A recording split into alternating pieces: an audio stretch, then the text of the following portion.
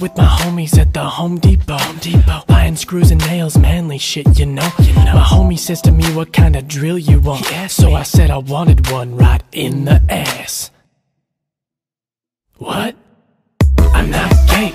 I'm not gay. It was a joke, guys. Come on, I'm not gay. I like veg more than a porn star scandal. But can I get?